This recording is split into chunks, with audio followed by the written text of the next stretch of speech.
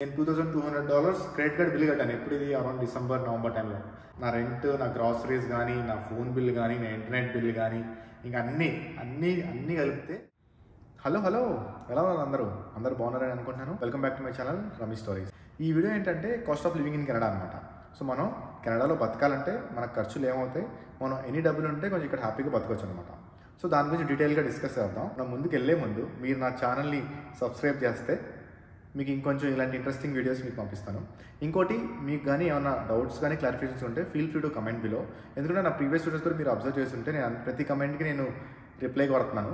మీకు ఏం డౌట్ ఉన్నా కూడా కమెంట్ చేయండి నేను రిప్లై కొడతాను. ఓకేనా సో లెట్స్ బిగిన్ సో ఈ వీడియోలో ఏంటంటే నేను మెయిన్గా ఫోర్ డిఫరెంట్ కేటగిరీస్గా డివైడ్ చేస్తున్నాను.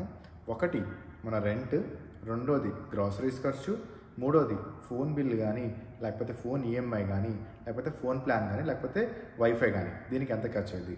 నాలుగోది ఏంటంటే ఒకవేళ మీరు కారు కొనుక్కుంటే కార్ బిల్ కానీ లేకపోతే కార్ ఇన్సూరెన్స్ కానీ ఎంత ఖర్చు అవుతుందో దాన్ని డిస్కస్ చేద్దాం.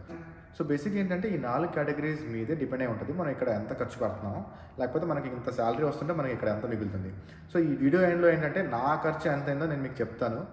ఒకసారి నేను ఎక్కువ ఖర్చు పెడతాను ఒకసారి నేను తక్కువ ఖర్చు పెడతాను. బట్ నా ప్రీవియస్ మంత్లో ఎంత ఖర్చు అయిందో నేను మీకు డీటెయిల్గా చెప్తాను అనమాట సో ఫస్ట్ వచ్చేసి రెంట్ అన్నమాట. సో రెంట్ అనేది ఏంటంటే మీరు యాజ్ అ ఫ్యామిలీగా ఉంటున్నారా లేకపోతే యాజ్ అ సింగిల్ పర్సన్ ఉంటున్నారా దాని మీద డిపెండ్ అయి ఉంటుంది అనమాట మీరు ఫ్యామిలీగా ఉంటే ఆబ్వియస్గా ఒక యూనిట్ మొత్తం మీరు రెంట్ చేయాలి.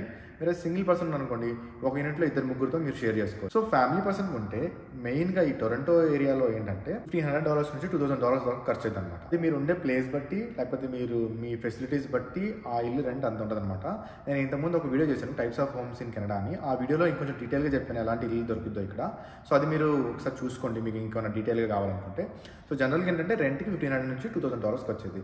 సింగిల్ పర్సన్ ఉన్నారనుకోండి త్రీ బెడ్రూమ్ ఇల్ని ఒక ముగ్గురు కలిసి రెంట్ చేసేది అనుకోండి టూ థౌసండ్ ఫోర్ హండ్రెడ్ ముగ్గురు మీద చూసుకుంటే per person eight hundred dollars ఖర్చు అనమాట జనరల్గా ఏంటంటే ఎయిట్ హండ్రెడ్ నుంచి థౌసండ్ డాలర్స్ పక్కగా పడుతుంది ఒక ఒక రూమ్ కావాలంటే ఒక పర్సన్కి సింగిల్ పర్సన్ అయితే ఎయిట్ హండ్రెడ్ నుంచి థౌసండ్ ఖర్చు అవుతుంది ఫ్యామిలీ మీరు ఉండాలంటే ఫిఫ్టీన్ హండ్రెడ్ నుంచి టూ థౌసండ్ డాలర్స్ ఖర్చు అనమాట సో ఇది రెంట్కి వచ్చి సో గ్రాసరీస్ వచ్చేసి ఏంటంటే జనరల్గా టూ హండ్రెడ్ నుంచి త్రీ హండ్రెడ్ డాలర్స్ దాకా పర్ వీక్ ఖర్చు అవుతుంది అనమాట వీక్లీ మనం ఏంటంటే వీక్కి టూ ఫిఫ్టీ డాలర్స్ వేసుకున్నా కూడా సింగిల్ పర్సన్ అనుకోండి అరౌండ్ ఫైవ్ హండ్రెడ్ డాలర్స్ ఖర్చు అనమాట మళ్ళీ షేరింగ్ చేసుకుంటే ఇంకొంచెం తక్కువే అవ్వచ్చు.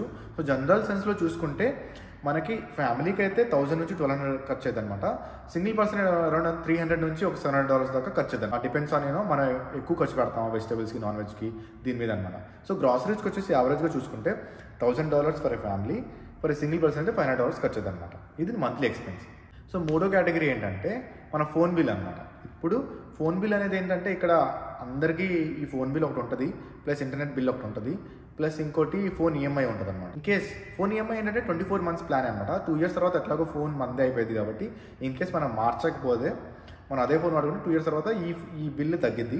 సో నా ఫోన్ బిల్ వచ్చేసి ఫిఫ్టీ డాలర్స్ పర్ మంత్ ఇంకోటి ఫోన్ ఈఎంఐ వచ్చేసి ఫిఫ్టీ డాలర్స్ ఇంకోటి నా వైఫై వచ్చేసి ఫిఫ్టీ డాలర్స్ సో అన్నీ యాభై యాభై అనమాట సో వన్ ఫిఫ్టీ డాలర్స్ నా ఫోన్కి అయితే అనమాట ఇదేంటి? వితౌట్ ట్యాక్స్ సో ట్యాక్స్ వచ్చేసి దీని మీద థర్టీన్ పర్సెంట్ ఎక్స్ట్రా పెట్టుకోవాలన్నమాట. అరౌండ్ వన్ సెవెంటీ డాలర్స్ వేసుకోండి. మొత్తం ట్యాక్స్ వేసి సుమారుగా అటు ఇటుగా. సో వన్ సెవెంటీ డాలర్స్ నాకు ఈ ఫోన్కి ఇంటర్నెట్కి ప్లస్ వైఫైగా అవుతుంది. సో అదే నేను ఫ్యామిలీగా ఉన్నా కదా ఇప్పుడు నా వైఫ్ కూడా సేమ్ ఆ ఫోన్ కావాలి ప్లస్ వచ్చేసి అసలు ఫ్యామిలీకి వైఫై కామన్ కాబట్టి రెండు ఫోన్ బిల్లు ప్లస్ రెండు ఫోన్ ఈఎంఐలు అనమాట సో మూడు కలుపుకుంటే two hundred and seventy dollars నాకు ఖర్చు అవుతుంది అనమాట సో మొత్తం కలిపితే. So on the other hand మీరు సింగిల్ పర్సన్ అనుకోండి ఫోన్ బిల్ ఒక యాభై ఫోన్ ఈఎంఐ ఒక యాభై తీసుకున్నా కూడా మీకు వైఫై షేరింగ్లో ఉంటుంది ముగ్గురు కలిసి తీసుకున్నా కూడా అక్కడ ట్వంటీ డాలర్స్ పడుతుంది. వన్ ట్వంటీ డాలర్స్లో మీకు phone bill wifi bill internet bill ఇవన్నీ కవర్ అయిపోయింది నేను ఇండియాలో ఉన్నప్పుడు అయితే టూ థౌసండ్ ఫైవ్ హండ్రెడ్ ఆ ప్లాన్ ఇచ్చేవాడిని వన్ వన్ ఇయర్ ప్లాన్ ఒకసారి వన్ ఇయర్కి ఇచ్చేస్తే ఇయర్ మొత్తం ఒక పొద్దాక రీఛార్జ్ చేసుకోకుండా ఉంటుంది. సో అదే ఇచ్చేవాడిని ఇక్కడ ఎలా అంటే మంత్లీ మనం కట్టాలి. మంత్లీ యాభై డాలర్ అంటే మూడు వేల రూపాయలు ఇండియాతో ఫోన్ బిల్ ప్లాన్ అనమాట లోకల్ కెనడాలో కాల్ చేసుకుంటాం అనమాట సో అదే థర్డ్ ఎక్స్పెన్స్.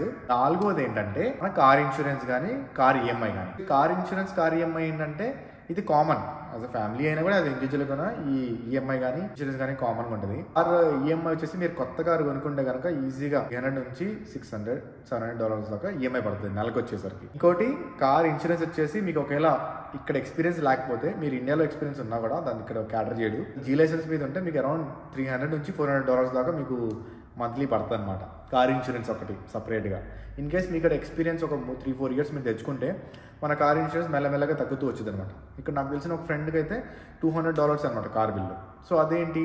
ఇక్కడ నుంచి ఉన్నాడు కదా. ఫోర్ ఇయర్స్ ఎక్స్పీరియన్స్ ఉంది. తనకైతే టూ హండ్రెడ్ డాలర్ ఇంకో ఫ్రెండ్ ఉన్నాడు తను కొత్తగా వచ్చాడు. నాతో పాటే వచ్చాడు వన్ ఇయర్. అంటే సిక్స్ సెవెన్ మంత్స్ బ్యాక్ వచ్చాడు అనమాట తనకేంటంటే ఫస్ట్ త్రీ నైన్టీ డాలర్స్ పడింది ఇప్పుడు త్రీ ఫిఫ్టీ పడుతుంది అనమాట సో యావరేజ్ చూస్తుంది కార్ ఇన్సూరెన్స్ అనేది అందరూ పే చేయాలి. మీకు ఎక్స్పీరియన్స్ ఉంటే రెండు రెండు వందల డాలర్ పడుతుంది. ఎక్స్పీరియన్స్ లేకపోతే అరౌండ్ మూడు వందల నుంచి నాలుగు వందల డాలర్ పడుతుంది అది కార్ ఇన్సూరెన్స్. కార్ ఈఎంఐ ఏంటంటే మీరు కొత్త కార్ కొనుక్కుంటే కనుక సో మీకు త్రీ హండ్రెడ్ నుంచి సిక్స్ హండ్రెడ్ డాలర్స్ పడుతుంది. కార్ ఇప్పుడు కొత్త కార్ పాత కార్ ఏంటంటే మీరు కొత్త కార్ తీసుకున్నారు అనుకోండి ఇక్కడ ఊబర్ చేసుకోవచ్చు. జనరల్గా చాలా మంది ఏం చేస్తారంటే ఇక్కడ జాబ్ చేస్తూ కూడా ఊబర్ ఒకటి ఎక్స్ట్రా ఇన్కమ్ లాగా పెట్టుకుంటారు. ఖాళీ దొరికినప్పుడల్లా ఊబర్ నడుపుకుంటే కొంచెం డబ్బులు వస్తాయని చెప్పి. సో ఊబర్కి వచ్చేసి ఏంటంటే ఫైవ్ ఇయర్స్ లోపే ఉండాలి కారు. సో ఫైవ్ అదొక కొంచెం క్రైటీరియాలు ఏదో ఉంటాయి. అందుకని చాలా మంది కొత్త కార్ ప్రిఫర్ చేస్తారు. ఒకవేళ పాత కార్ అనుకోండి థౌసండ్ డాలర్స్ నుంచి టెన్ థౌసండ్ డాలర్స్ సింగిల్ షాట్లో డబ్బులు కట్టేసి ఆ పాత కార్ కొనుక్కుంటే ఈఎంఐ ఖర్చు ఉండదు. సో పాత కార్ వల్ల ఏంటంటే ఈ ఊబర్ చేయలేము. కాకపోతే ఫుడ్ డెలివరీస్ చేస్తారనమాట ఫుడ్ డెలివరీస్ చేసుకోవచ్చు. అదనమాట సో ఓవరాల్గా కార్కి అయితే కనుక మీకు ఎంఐ ఉంటే కనుక ఆరు వందల డాలర్లు మాక్సిమం కొంచెం కడతారు నెలకి. కొంచెం ఎక్కువ కూడా ఉండొచ్చు. కొంచెం ఎక్స్పెన్సివ్ అయితే ఆరు వందలు వేసుకుందాం మనం. ఆరు వందల దానికి మూడు వందలు వేసుకోండి ఇన్సూరెన్స్కి. సో మీ దగ్గర కార్ ఇక్కడ ఉండి మెయింటైన్ చేస్తానే కొత్త కార్ మీకు వెయ్యి డాలర్లు అవుతుంది అనమాట ఓకేనా? సో నేను ఇప్పుడు యాజ్ అ ఫ్యామిలీ పర్సన్గా ఇప్పుడు నా లెక్కేద్దాం యాజ్ ఎ ఇండివిజువల్గా మళ్ళీ లెక్క. యాజ్ ఎ ఫ్యామిలీ పర్సన్కి ఏంటి నాకు రెంట్ వచ్చేసి రెండు వేల డాలర్లు. ప్లస్ గ్రాసరీ వచ్చేసి పన్నెండు వందల డాలర్లు. మూడు వేల రెండు వందలు ఇక్కడ అయింది. ఫోన్ బిల్ వచ్చేసి మూడు వందలు. ఐదు మూడు వేల ఐదు వందలు ఇక్కడ అయింది. నా దగ్గర కార్ లేదు. సో అదొక పెద్ద బెనిఫిట్ నాకు. సో కార్ లేదు కాబట్టి నాకు ఈ థౌసండ్ డాలర్ ఎక్స్పెన్స్ లేదనమాట ఇన్ కేస్ కార్ కూడా ఉందనుకోండి four thousand five hundred dollars expense అవుతుంది అనమాట మీరు ఇక్కడ బతకాలంటే కొంచెం ఫ్రీగా సో ఈ ఈ మిగతా దాంట్లో మీరు ఎక్కడ మీరు ఎక్కడ కొంచెం ఇంకొంచెం డబ్బులు సేవ్ చేయొచ్చు అంటే గ్రాసరీస్ దగ్గరే. ఎందుకంటే మీకు వెళ్ళే రెంట్ కానీ మీ కార్ బిల్లు కానీ దాన్ని మీరు ఏం చేయలేరు. అది సింగిల్ షాట్గా మీరు పే చేయాల్సిందే. సో వేలు ప్లస్ ఒక వెయ్యి మూడు వేలు డాలర్లు మాత్రం ఈజీగా మన చేతుల్లోంచి వెళ్ళిపోతాయి. ఎందుకంటే దాని మీద మనకు కంట్రోల్ ఉండదు కాబట్టి. సో జనరల్గా మనం ఏం చేస్తాం? ఆ గ్రాసరీస్ కొంచెం జాగ్రత్తగా చూసి ఖర్చు పెట్టుకుంటే ప్లస్ ఇంకా మనం బయట ఎక్కువ తింటే కూడా మనకు ఖర్చులు అవుతాయి. సో దాని గురించి నేను ఇక్కడ మాట్లాడలేదు. ఎందుకంటే అది ఇంకొంచెం ఇంకో మూడు నాలుగు వందలు వేసుకోవచ్చు ఎక్స్ట్రాగా. ఎందుకంటే మనకి అప్పుడప్పుడు మనం వెళ్ళి బయట ఫ్యామిలీతో కానీ ఫ్రెండ్స్తో కానీ వెళ్ళి బయట తింటాం రెస్టారెంట్లో తింటాం లేకపోతే ఏదైనా ఆర్డర్ చేసుకొని తెచ్చుకొని స్వి స్విగ్గీ లాగా ఇక్కడ కూడా చాలా ఉంటాయి కాబట్టి ఆర్డర్ పెట్టుకొని ఊబర్ ఈట్స్ అని ఉంటుంది. సో ఆర్డర్ పెట్టుకొని తెచ్చుకొని తింటాం ఇక్కడ. దానికి ఎక్కువ ఖర్చు అవుతుంది ఇప్పుడు నేను ఒక బిర్యానీ ఆర్డర్ చేస్తాను అనుకోండి చిన్న ట్రే లాగా. ముగ్గురు నలుగురు తినాలనుకుంటారు నలభై డాలర్ అయింది అదే మన ఇండియాలో అయితే పది మంది తినొచ్చు ఆ డబ్బులతో. నేను చెప్పేది ఏంటంటే ఈ ఎక్స్పెన్సెస్ ఎట్లాగో అవుతాయి. సో మనం బయట తినేవి కొంచెం ఎక్కువ తినకపోతే ఎక్కువగా మనం బయట ఖర్చులు చేసుకుంటే మనం ఇక్కడ ఈ డబ్బుల్లో మనం హ్యాపీగా లగ్జరీగా బతకొచ్చున్నాం. అది యాజ్ ఏ ఫ్యామిలీ పర్సన్కి అరౌండ్ కార్ కూడా ఉంటే నాలుగు వేల ఐదు వందలు మినిమం అవ్వచ్చు ఖర్చులు. ఓకేనా? సో రెండో కేసులో ఏంటంటే మీరు ఒక సింగిల్ పర్సన్కి వచ్చారనుకోండి. కార్ లేదనుకోండి. ఏమైతే ఖర్చులు? వెయ్యి వెయ్యి డాలర్లు రెంట్ అనుకోండి. ప్లస్ గ్రాసరీస్కి ఐదు వందలు అనుకోండి. ఇందులో ఒక నూట యాభై వేసుకోండి. సో మీకు ఏమవుతాయి? సో సిక్స్టీన్ ఫిఫ్టీ డాలర్స్లో మీరు చక్కగా సింగిల్ పర్సన్ హ్యాపీగా ఇక్కడ ఫ్రెండ్స్తో పాటు బతికేయచ్చు అనమాట సో ఇక్కడ మీకు మంచి జాబ్ ఇక్కడ ఫుల్ టైం జాబ్ ఉంటే మీకు చాలా వరకు సేవ్ చేసుకోవచ్చు. ఒక సినారియో అనమాట. ఇన్ కేస్ సింగిల్ పర్సన్ కూడా మీకు కార్ మీకు కావాలనుకుంటే ఇంకా థౌసండ్ డాలర్స్ అవుతుంది అప్పుడు ఏమైతే two thousand six hundred two thousand seven హండ్రెడ్లో మీకు హ్యాపీగా మీరు సాగొచ్చు ఇక్కడ. సో అది యాజ్ ఓవరాల్గా ఇక్కడ అయ్యే ఖర్చులు అనమాట. వీడియో యొక్క ముఖ్య ఉద్దేశం ఏంటంటే జస్ట్ మీకు ఒక రేంజ్ మీకు చెప్తాం. ఎంత ఖర్చు అయింది ఒక అవగాహన లాగా అంటే యాక్యురేట్గా ఇంతే అవుతాయేం లేదు. ఈ డిపెండ్స్ అనమాట ఫర్ ఎగ్జాంపుల్ ఇప్పుడు మనం టూ థౌసండ్ డాలర్స్ ఇల్లు కాదు మనం పదిహేను వందల డాలర్ ఇల్లు వెళ్ళాం అనుకుంటా అక్కడ ఐదు వందలు మిగులుతాయి. సో ఇలా మనం ఉండే ప్లేస్ బట్టి డిపెండ్ అవుతుంది అంతా.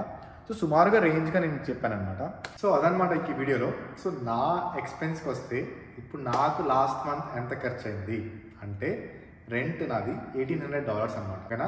ప్లస్ నా గ్రాసరీస్ బిల్లు నా నా అన్ని బిల్స్ అంటే నా క్రెడిట్ కార్డ్ బిల్ అనుకోండి యాక్చువల్గా చెప్పాలంటే. ఈ క్రెడిట్ కార్డ్ బిల్లు ఏంటంటే నా గ్రాసరీస్ కానీ నా ఫోన్ బిల్ కానీ లేకపోతే నేను ఇంట్లో తిరిగింది కానీ లేదా ఆర్డర్ చేసింది కానీ ఈ రెండు కలిపింది నా దగ్గర రెండు క్రెడిట్ కార్డులు ఉన్నాయి. రెండింటికి కలిపి నేను fourteen hundred dollars credit card bill కట్టాను. ఓకేనా? Eighteen hundred plus fourteen hundred. ఎంత అయింది three thousand two hundred dollars ఖర్చు అయిందనమాట ప్లస్ నేనేంటంటే దగ్గర కార్ లేదు ఇంకా కార్ ఈఎంఐ కార్ ఇన్సూరెన్స్ లేదన్నమాట. ఎందుకంటే నాకు కార్ లేదు కాబట్టి. సో నాకేంటంటే three thousand two hundred dollars ఖర్చు అయిందనమాట ఓకేనా? సో అది కెనడాలో నేను పెట్టిన ఖర్చు. ఒకవేళ నా కారు ఉంటే ఇంకో వెయ్యి డాలర్లు అయ్యేది.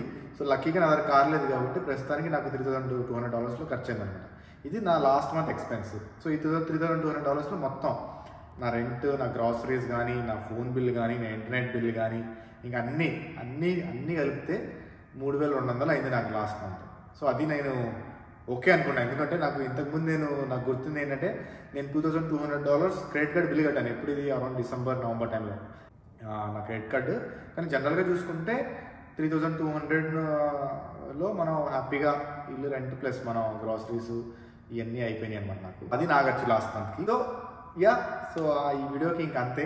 సో ఈ వీడియో మీకు నచ్చిందని అనుకుంటున్నాను. నా ఛానల్ని సబ్స్క్రైబ్ చేస్తారని ఆశిస్తూ మళ్ళీ ఇంకో వీడియోలో మళ్ళీ కలుసుకుందాం. అంతవరకు బాయ్